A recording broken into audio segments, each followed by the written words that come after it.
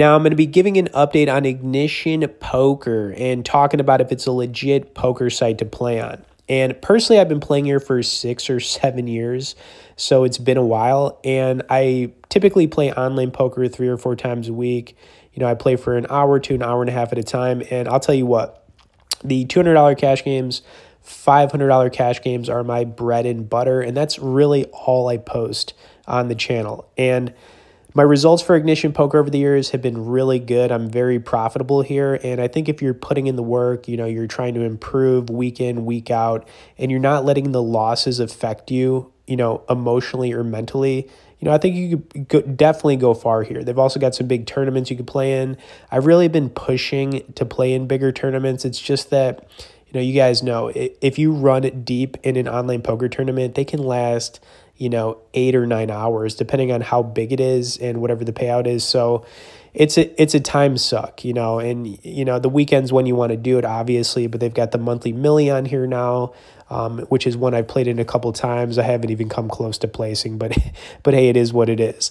Um, of course, uh, I am going to be breaking down some hands here in a 500 no limit session, and we actually got a double up in this one um, on a, a really uh, interesting spot, I guess you could say. So stick around to the end. Of course, of course, as we're getting into some of these hands on here, if you guys did want to get started on Ignition or learn more about them, we'll have some bonus and resource links directly below in the description.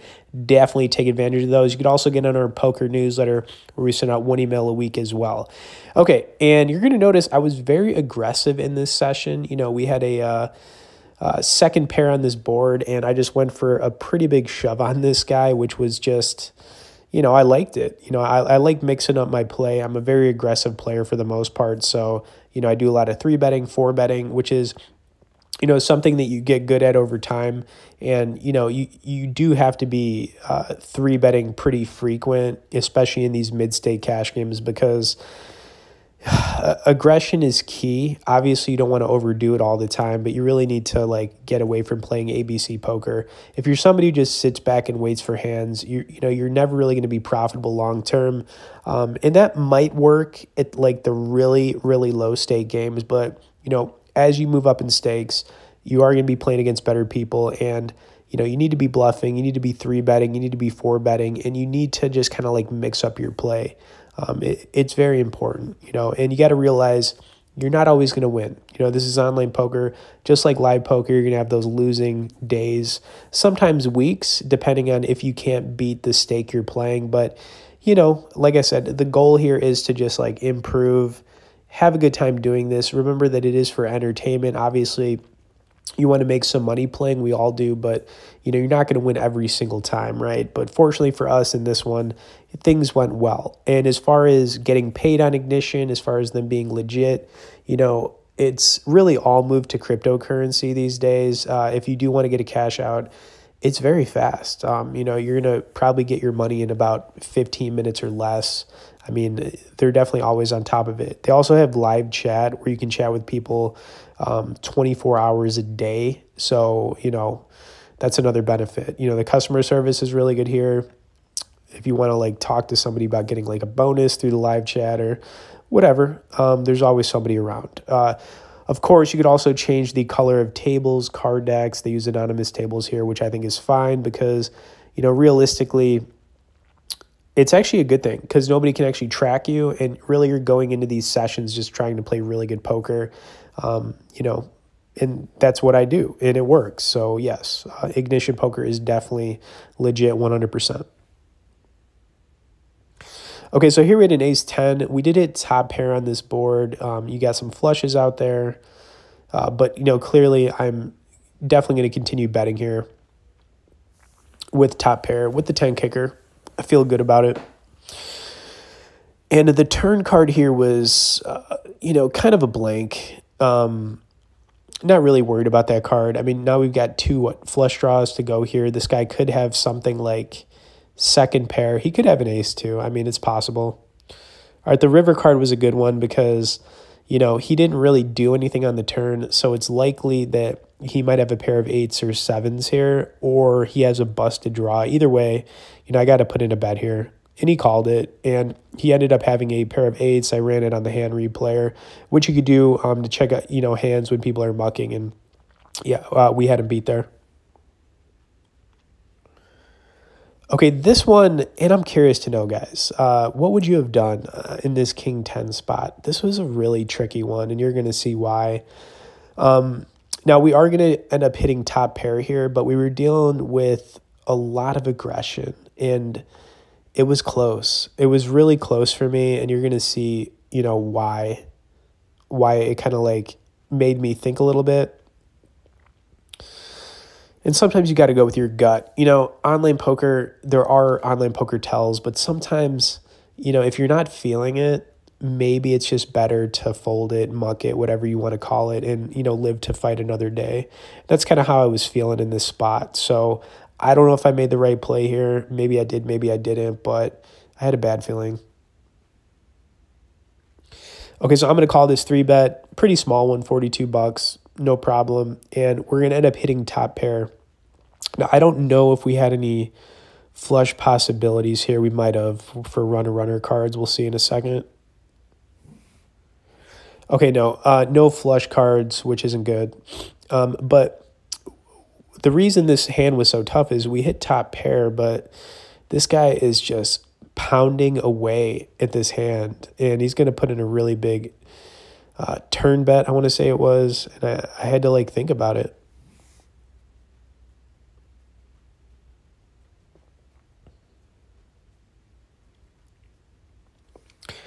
Okay, three on the turn, pretty non. There's just really nothing there. So that was a good card, honestly. But the bet he put here on the turn is pretty big. Uh, he puts in like a $110 bet. I believe that's 110. I decided just to fold it. River card would have been an 8. It just felt like, honestly, it felt like he had ace king. Um, you know, trying to like figure it out because he three bet us to 42 and I don't know. I don't think he's betting a 100 bucks with like an ace queen right there. I, I don't I'm not really seeing it. So, you know, I just folded it. I just felt like I felt like there was a, a decent chance we were beat there, and I don't regret it. So it is what it is. But you know, the good thing is folding that hand, you know, we didn't risk a lot of money because we are going to get a double up still in this one. So, you know, it worked out anyways, you know, so it is what it is. All right, pocket nines here. Hope you guys are still sticking around because, like I said, you definitely don't want to miss this uh, this hand coming up.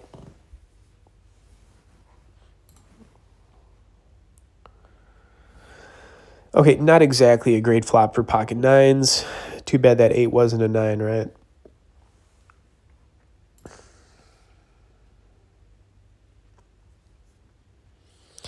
Anyways, we ended up taking it down with no resistance, which is always nice, especially with that kind of flop. And uh, yeah, on to the next one.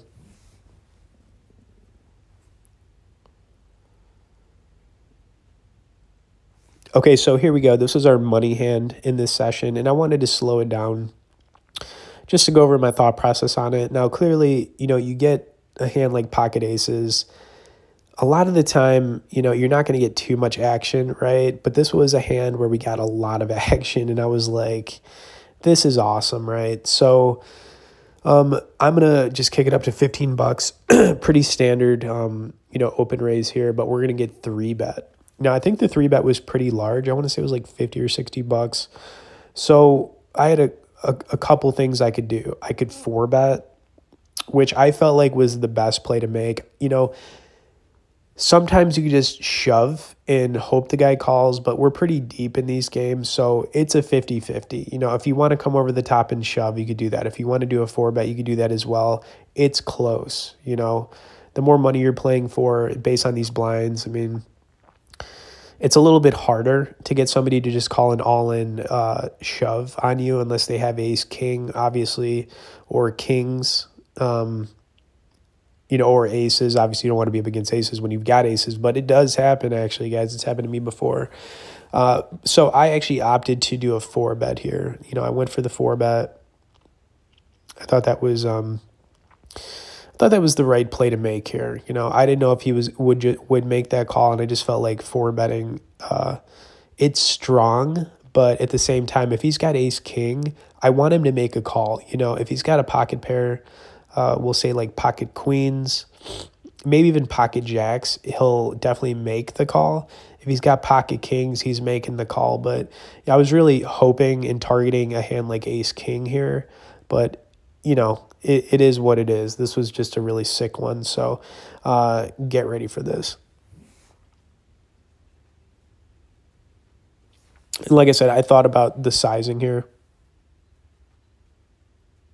Decided to go with 140.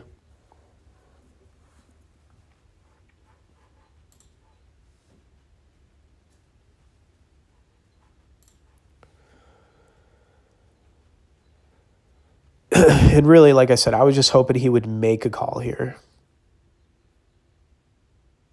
But he came over the top, which was even better. And we are in a situation where it's going to be aces versus kings. Pretty brutal, right?